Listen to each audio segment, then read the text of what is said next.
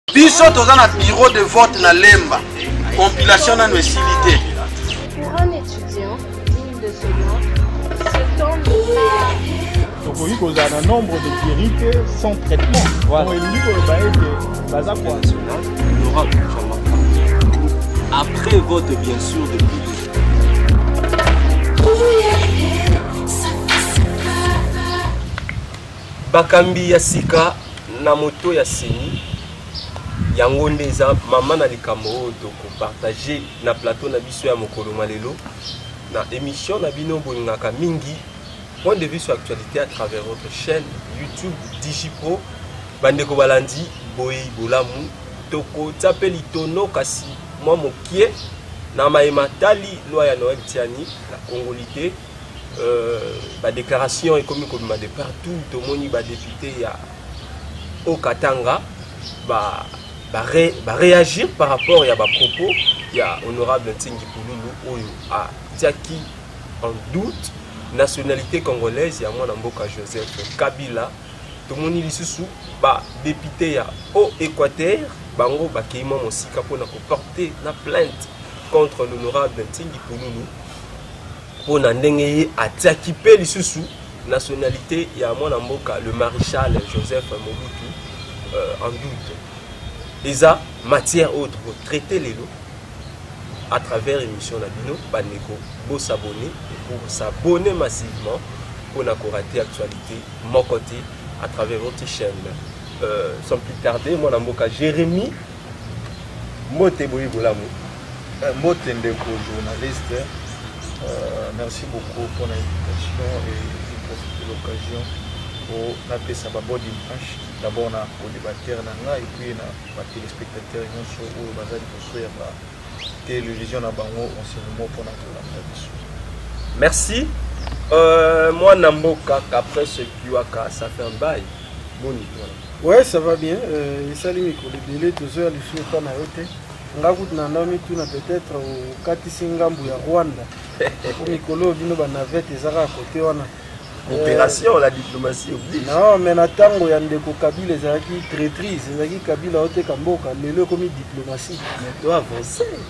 Non, tu vas avancer, avant qu'on avance, il faut total l'histoire. Qu'est-ce que l'histoire nous enseigne tozalaki isole ntango ya kabilazalaki isolelokola ndeko kabila andaki kokende rwanda te parce que bato mosusu bandaki koloba lepoque kabila ayaki rwandais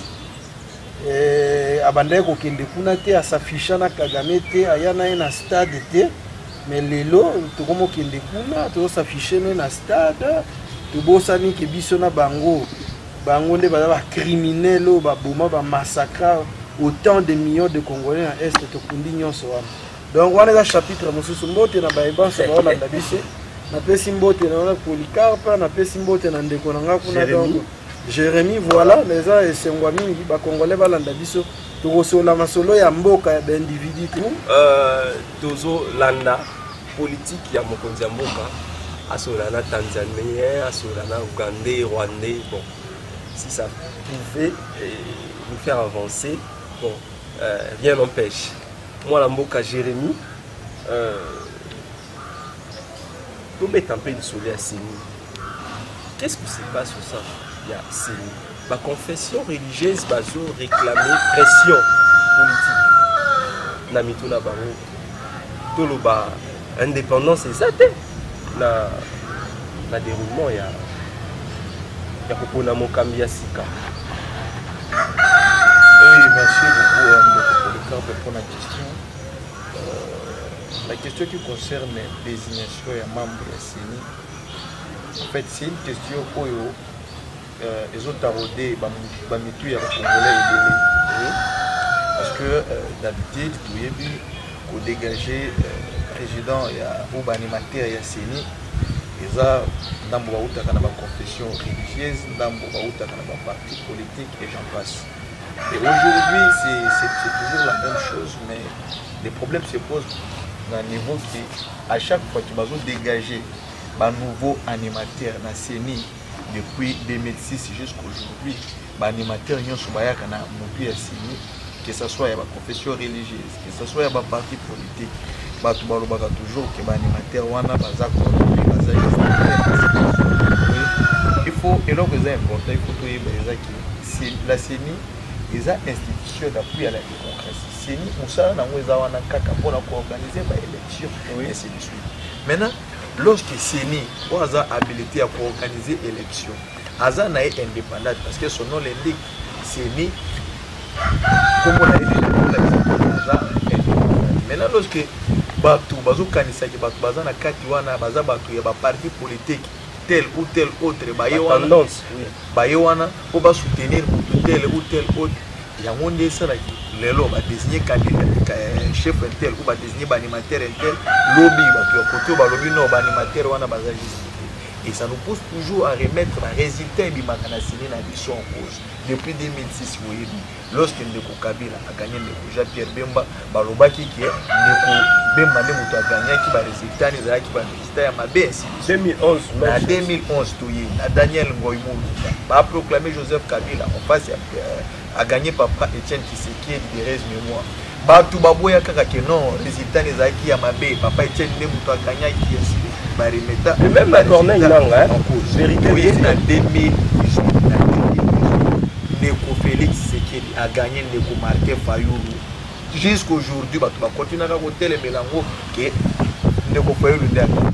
c'est pour autrement te dire makambo ya désignation ya baanimateur ya sini à mon avis ezosenga te ke badésigne baanimateur moko boye mpo basatisfaire moto nyonso parce que on ne peut pas satisfaire l'unanimité même soki lelo hmm? bato ndambo bandimi baanimateur oyo bakoya bato misusu bakoboya mpe bango kaka et à chaque fois que tokokontinue kotraine eloko wana baanimateur bazobima te l'état passe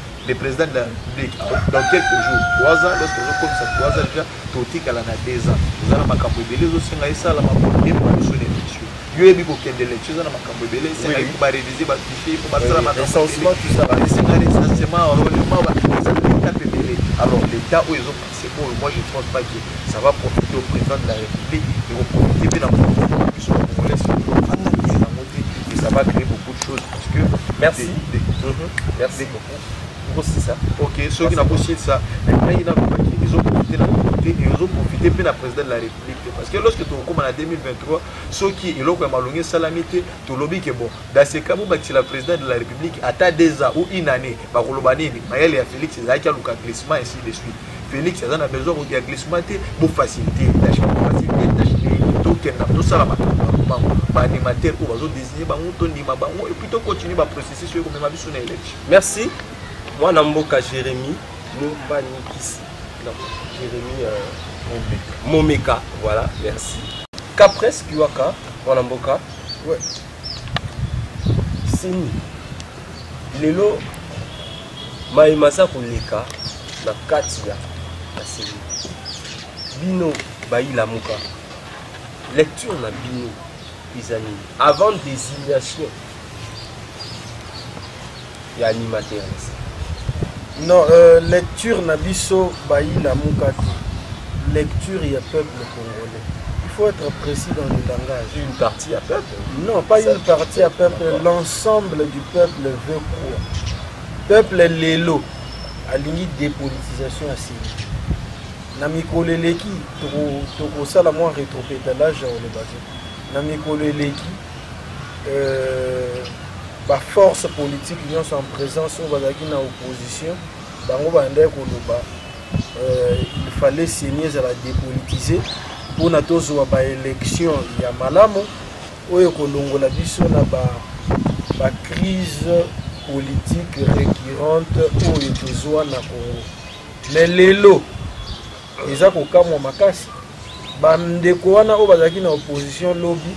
lelo bakomi na pouvoir entre guillemets toyebi nde bakomaki wana balingi lisusu te na matoi na bango koyoka likambo ya dépolitisation ya seni non ce n'est pas non depuis 1960 bandeko oyo baparticipaki na euh, baconférence nationale souveraine bandeko na biso baene ba, ba na biso bakendaki na dialogue ya Sun City ezalaki pourquoi ezalaki mpo na kodiscute bango batalaki ete balobaki soki otangi mikanda wana omonaki baloba banda 1960 congo ezalaka toujours na problème ya légitimité siko lilo dépolitisation na continue eza mpe suya moko congo ezalaka toujours na problème ya légitimité. Pourquoi la légitimité Le peuple congolais depuis 1960 jusqu'à nos jours n'a jamais été devant un président qui l'a élu. C'est cela le plus grand problème. Et lelo yango moni démarche wana ebandaki na 2018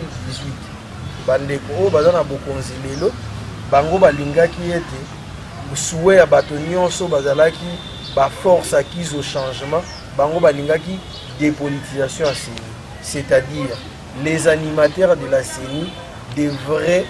être nos pères de l'église et les membres de la société civile que nous les politiques nous soyons les membres de la plénière pour mpona contrôler l'action na evolution ya bakambi ya seni mais yango eza kosalema te lelo ezosalema baconfession lelo ezosalama lelo ezosalama bongo te bino bayi politike bato oyo bato oyo baza na bokambi baoyo bakomaki kuna entre guillemets ndenge biso nyonso toyebi bango balingi koyoka lisusu masolo ya dépolitisation te mais tandis que bango moko na monoko na bango balobaka ke bango bazali populaire bango nde bazali badétenteur bazali ba détenteur ya majorité populaire mais kokamwa bango moto baza ba détenteur ya majorité populaire epuis balobaka baza ba démocrate de surcroît bazobanga dépolitisation ya ceni pourquoi c'est là où ça cloche donc komona lelo non mais balingi koyoka yango te basali bamakambo oyo nyonso basali wana basali yango kaka ntango to wana bango bazoba ono oh euh, tozali na ba mesure ya restriction tozali na coronavirus tozali na état de siège tozali na couvre feu tozali na baza na bamakambo ebele batiaki mpo na bango bacontinue kosala bapassage en force mais oui. Mm. une seule chose à savoir oui. lelo bakomi banga nalobi te ke eza bango mm. lelo bapère de l'église bango balobi ete bazo subir ba menace oui. et puis bango moko balobi bayebi bato bazo menace bango soki otali na ba plateforme en ligne bakombo ya bato eza deja cité kuna mais badéclaration eza te na ba plateforme en ligne bakombo ya bato eza deja cité baoyo bazo menace ba père de l'église mais biso toye korapele bango ya koloba ete pouvoir tala na histoire ya mokili mobimba banda mokili ebanda banda egypte bagrèce barome oui. bababylone pouvoir nyonso oyo ekotaka en contradiction ou soit na guerre na église ezalaka pouvoir oyo eza voie l'échec eza pouvoir oyo ezokwea na mikolo ezoya merci yango toyebisi bango basinspire na ndeko joseph kabila azali exemple palpable lelo babundisaki lobi eglise catholique tomonaki makambo ndenge elekaki mais ntango eglise etelemaki na chaque euh, activité chaque manifestation pacifique ya dimanche toyebi ndenge pouvoir ya ndeko kabila esukaki ye azalaki na bapouvoir nyonso azalaki na plénitude du pouvoir plénitude de pouvoir mais ye akokaki kosala passage en force te mpo na impose ndeko shadak merci beaucoup ezali leçon merci, merci, mingi mpo na bango basinspire na na nini na leçon wana presque waka mais bayi euh, population oyo bakolanda bakozala mpe surpris na komona kilamuka aujourd'hui euh, bazozwa mwana mboka kabila lokola exemple non nazwi ye lokola exemple te nakozongela yo comme ah. ça euh, mwana mboka jérémie est ce que tokoki koloba ke élection ekozala mpenza na 2023 parce que bamosusu bazoganga déjà na glissement non euh, le président de la république azo préparé glissement organise élection te na 2023 est ce qu'il y aura élection mpona ye oui euh, merci beaucoup de votre question euh, d'abord j'aimerais préciser une chose dele constitutionnel na biso ezo prévoir que après 5 ans tosalaka élection c'est dire que ndenge élection esalamaki na 2018 élection mosusu tosalama na 2023 oui. ça c'est une évidence puis c'est une précision de taille oyo ezosenga ndeko na ngai ya nouvelle ela ayeba yango ke élection ekozala na 2023 soki élection ekosalama te sa ekoki kozala mpo na baréalité politique pour le moment oyo biso nyonso toyebi ezaki élection eza na 2023 Nayoki ndeko na nga alobi ba makambo moko awa il faut bo permettre nga na na meka ko cadre ya moko to alekaki alobi euh, kobanda 1967 jusqu'aujourd'hui peuple congolais a se retrouva nano te euh, sous le pouvoir ou euh, sous l'autorité ya président oyo ye moko aponi ye mpo na ngai nakoyebisa ye kesi mpo e archive tobandi na 1967 d'abord na, na premier président de la république mm -hmm. démocratique avec Joseph Kasavubu. Joseph Kasavubu azalaka élu na suffrage universel indirect, c'est-à-dire azalaka élu akomaka président parce que ba députés nde bato bavotaki et les députés lorsque moto aza député député représentaka peuple eza nde peuple mandat ya mandat ya kozala lorsque azo représente acte oyo ozokonzeba acte ba député bakozala wana eza nde biso Donc po bazo reposa bakomelaki bandeko ya ntango wana parceke biso tozalaki ntango te bamoleli bango président joseph kasavu ça voudrait dire que peuple nde motu atie kasavubu afanda place wana azalaki azalaki azalaki eme azala eme ndeko na nga azalaki eme so azalaki eme d'ailleurs en politique le plus important ce n'est pas un chef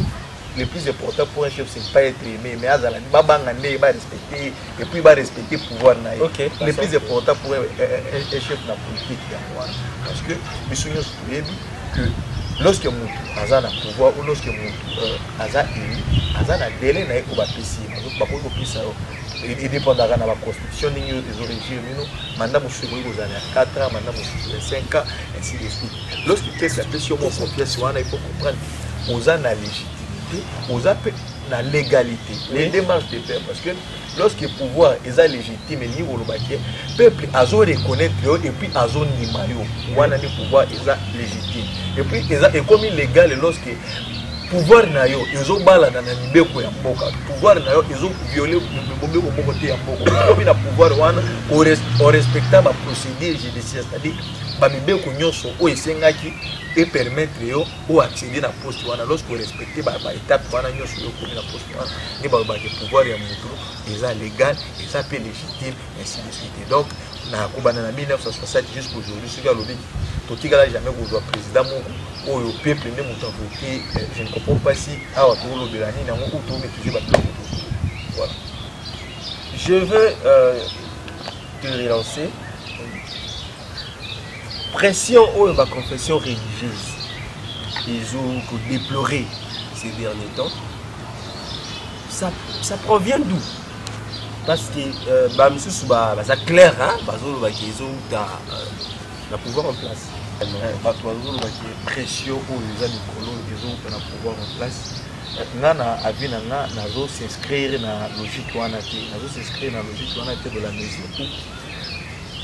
beaucoup plus bato bazoloba wana eza bato neti ndeko na nga kodebatere na nga uti koloba mpo a ah, amoni yango na réseau sociaux ah, balobi namonaki yango na baplateforme ya moko en ligne ainsi de suite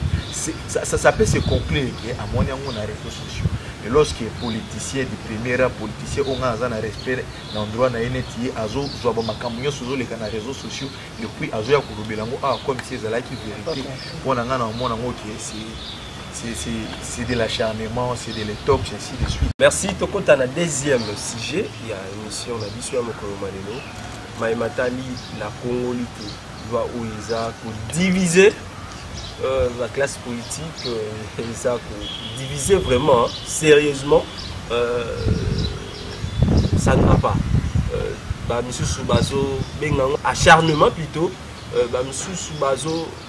mona yango na miso ya politiki ke baza koekarte euh, bapoids lourd mpo na maponomi ya 2023 kasi tozozwa bavie ya bandeko mwana mboka caprese lwaka euh, loi ya congolite oyo eza porte na assemblée nationale par le député ntingi boyambaki yango ndenge nini na laluka non euh, la loi portant sur euh, la congolite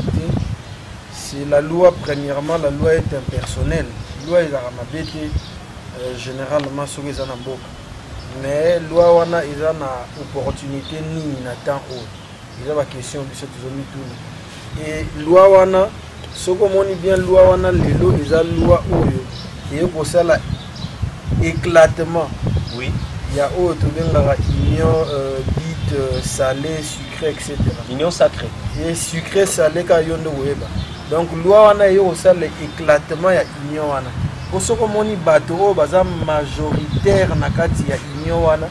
bango bazolobaki loi wana ils ont s'attaquer na bango de manière personnelle donc lokola ezo s'attaquer na bango de manière personnelle soki loi wana eleki na badiscussion na bango na kati ya parlement na bango oyo ezalaki parlement lobi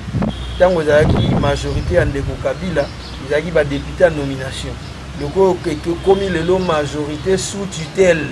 ya ndeko tshisekedi baza blanchi ekomi majorité du peuple nazokende nazokende nazokende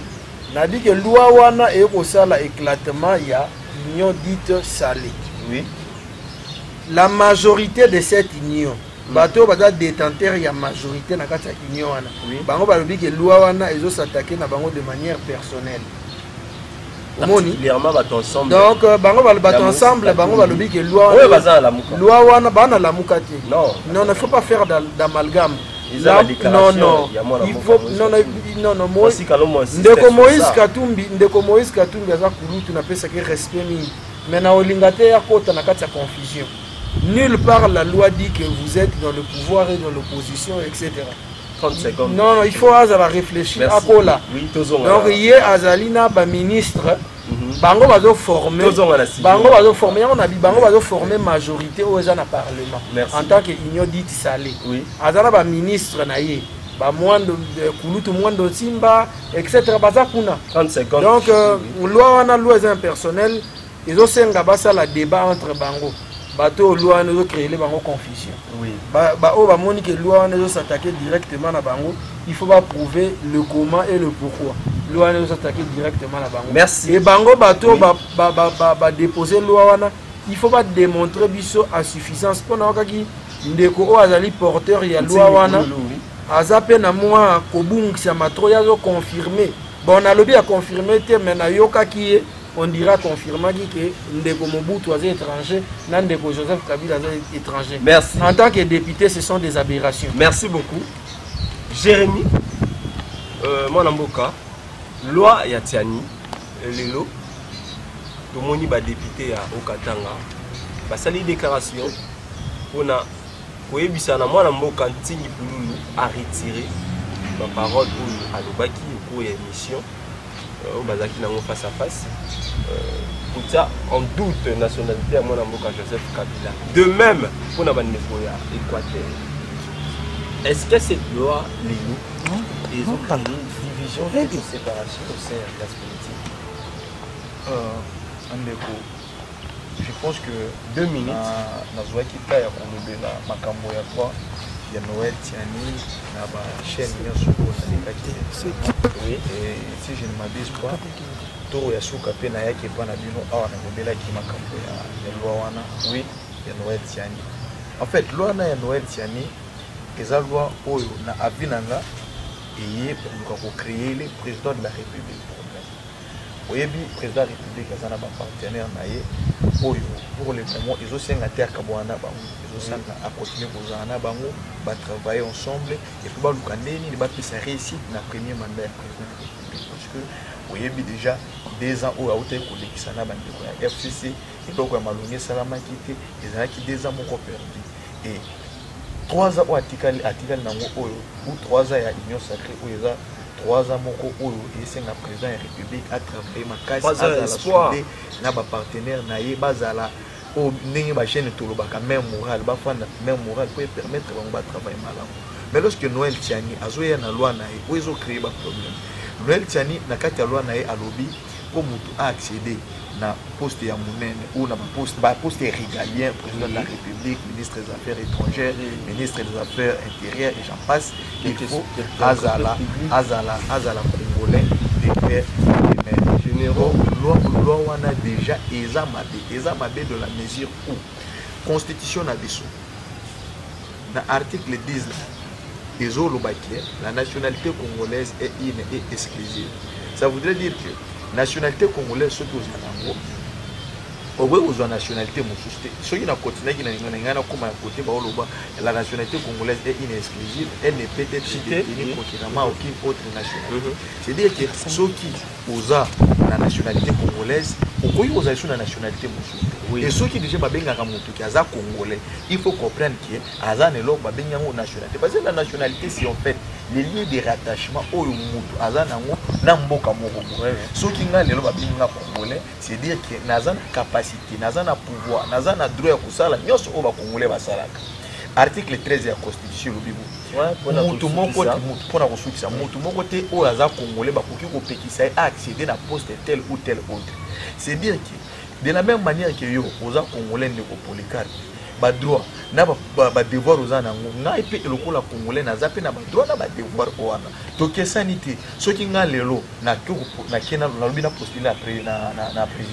na présidentielle soki nasali yango te ou soki bakoboya ngai ezala nos non pas parce que naza to congolais to ainsi de suite bakoki koboya nga peut-être parce que nakokisi na âge oyo oyo constitution na biso elobaki merci beaucoup mutu apostule na nini na présidence mais lorsque bazoya baluka ba inscrire mutu mpo na nationalité eh, eh, makambo de père et de mère en tout cas c'est une démarche de trop oyo ezocréer le président république ba, ba divergence na ba, na ba partenaire merci merci merci beaucoup mwana mboka jérémie tokomi na suka une minute une minute mpo na dernier mot komonopolise maloba te en tout cas merci pour l'émission mais awa sikoyo tozo lance message ya interpellation na peuple na population bayeba ke euh, biso lamuka biso peuple tolobi dépolitisation ya ceni euh, tolingi bapère ya église malgré bapression bango bazo subir pona ba degager consensus babimisa animateur ya seni lelo peuple congolais aza conscient tala bamenace oyo bazosubir nano en pleine processus ya discussion ebongo ntango tokokɔta na série ya vote na série ya publication ya baresultat ya baélection ekozala ndenge donc que le peuple demeure vigilant et conscient